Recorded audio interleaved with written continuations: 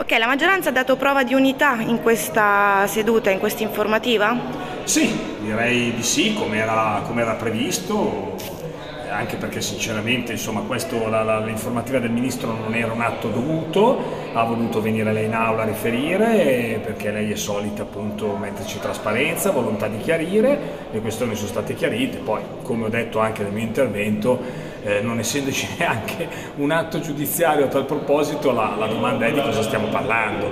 Quindi di conseguenza assolutamente tutta la nostra solidarietà al Ministro che deve continuare a lavorare e, e che il Governo deve andare avanti senza farsi condizionare da questi tentativi di delegittimare eh, l'attività di governo attraverso delle inchieste giornalistiche, questo non può assolutamente essere possibile. Però anche le opposizioni hanno promesso di andare avanti, il Movimento 5 Stelle presenterà mozioni di sfiducia, a breve ci sarà anche una conferenza stampa per approfondire eh, ancora. Sì, ma di solito quando si presentano poi le mozioni di sfiducia di solito servono per rafforzare il governo, quindi insomma ci fanno pure questo favore, cosa possiamo fare? Meglio di così.